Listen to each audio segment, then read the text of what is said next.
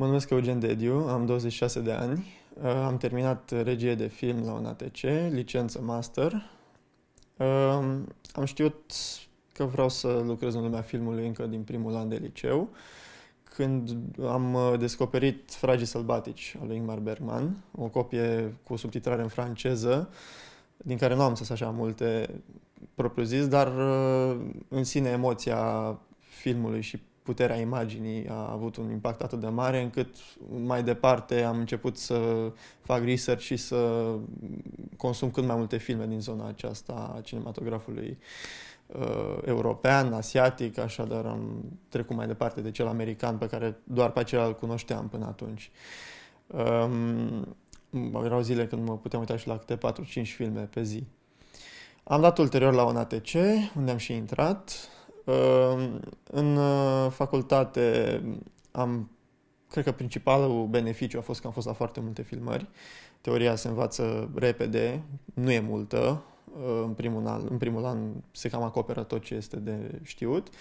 Uh, ce a fost foarte important și relevant a fost acest spațiu în care am putut lucra atât la propriile mele proiecte de scurtmetraj ca regizor, cât și pe alte poziții dintr-o echipă de filmare, ajutându-mi colegii. Uh, și asta clar a fost o experiență formativă foarte importantă.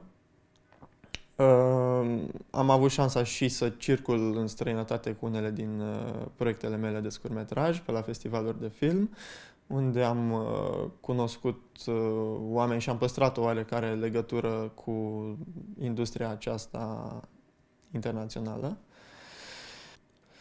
Lucrez ca liber profesionist în uh, industria cinematografică, în general ca asistent de regie, ca prim asistent de regie. Uh, am lucrat la mai multe lungmetraje, cred că patru, multe scurtmetraje și în spoturi publicitare.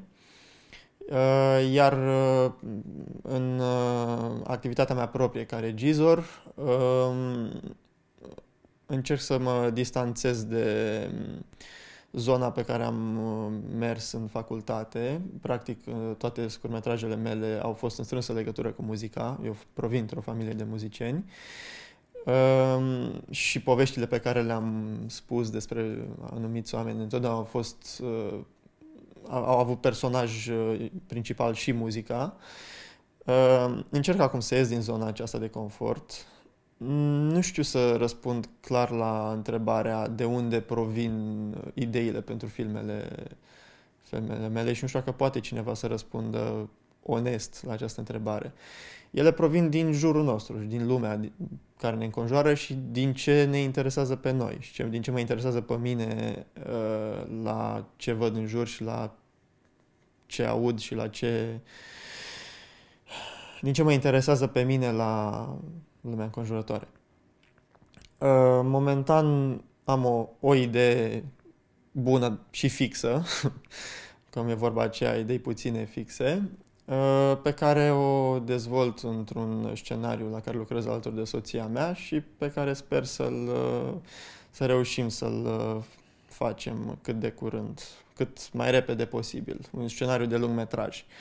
Până acum nu am uh, debutat în lungmetraj. Uh, e un drum anevoios, mai ales în uh, contextul acesta al unei industrii în care filmul de autor pierde din ce în ce mai mult teren în fața filmului comercial și unde debutul este extrem de complicat.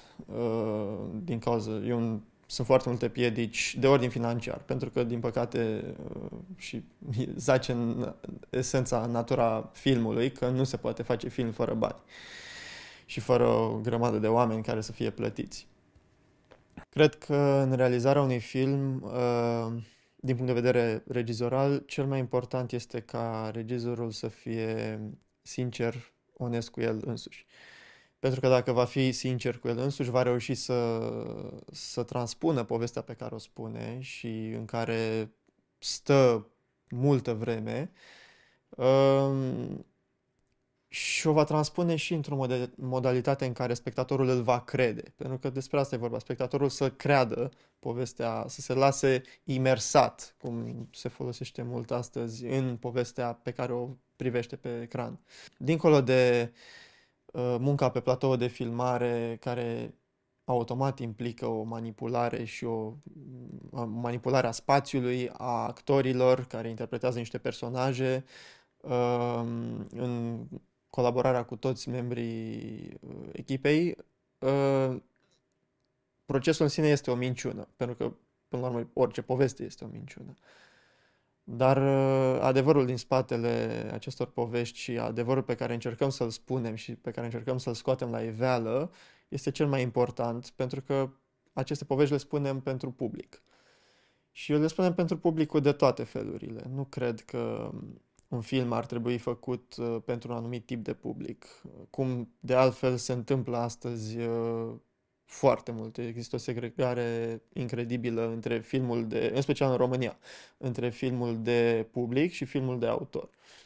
Uh, și această segregare provine de fapt de la uh, cei care creează contentul acesta, uh, cei care creează, cei care uh, șablonează și decid să facă niște filme de o, de o calitate mai slabă, în speranța că va, vor vinde mai multe bilete sau vor avea mai multe vizualizări uh, și vor face mai mulți bani. Și într-adevăr se întâmplă acest lucru, numai că cred că publicul care merge la filmele comerciale să se simtă bine, să se distreze, cred că are și momente în care ar dori să fie puțin uh, provocat sau să se uite la un film la care nu, să nu râdă sau să nu se simtă neapărat uh, bine, dar care să-i ridice niște întrebări, în primul rând, despre el și despre cine este el în uh, relația cu viața pe care o duce și cu chinurile și luptele pe care, prin care trecem toți.